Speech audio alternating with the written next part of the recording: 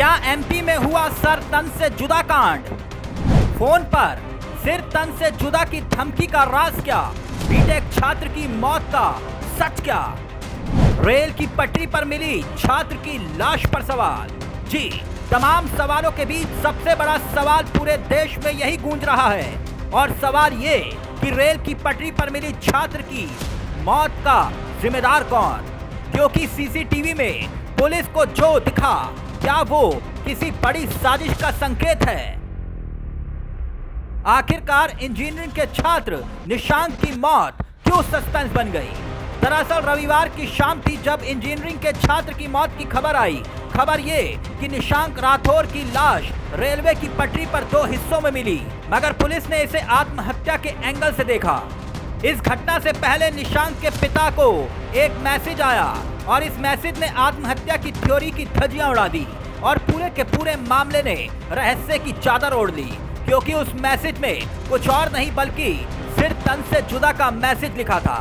अब निशांक के पिता उमा शंकर राठौर ने अपने बेटे के मोबाइल से आए मैसेज के बारे में जब पुलिस को बताया तो सबके होश फाख्ता हो गए, क्योंकि उस मैसेज में जो लिखा था, अब वो भी देखिए।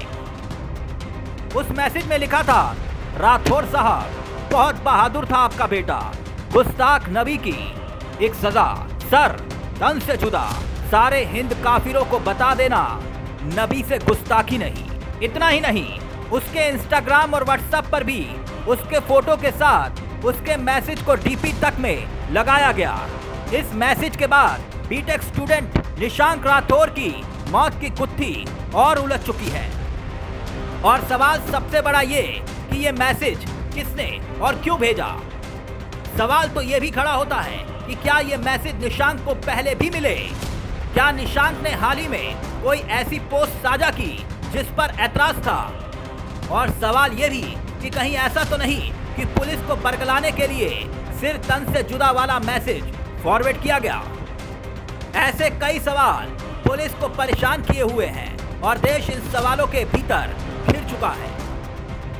वहीं तमाम सवालों के बीच पुलिस के हाथ एक सीसीटीवी भी लगा है। उस सीसीटीवी में वैसे तो कुछ विवादित नहीं है, बस एक स्कूटर और बाइक ज़रूर दिखाई दे रहे हैं, जिसके बारे में कहा जा रहा है कि जो स्कूटर नज़र आ रहा है, उस पर निशांक ही सवार है और शुरुआती जाँच में ये बात सामने आई कि ये स्कूटर किराए पर लिया गया था और निशांक स्कूटर पर सवार होकर नर्मदा नगर की तरफ़ जा रहा है। ऐसे में सवाल यही खड़ा होता है कि अगर वो शहर के बाहर की तरफ़ बसे नर्मदा नगर की तरफ़ जा रहा था तो फिर शहर के भीतर रेलवे ट्रैक पर उसकी लाश कैसे पहुँची?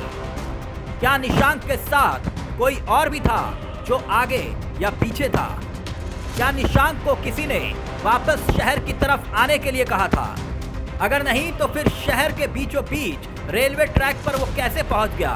तो ऐसे में सवाल कई हैं और छात्र की मौत की साजिश की तरफ़ संकेत दे रहे हैं और इस साजिश के तार कहीं और जुड़ते हुए भी दिखाई दे रहे हैं। कहीं ऐसा तो नहीं, वाकई में निशांक के साथ कोई हादसा ही हुआ।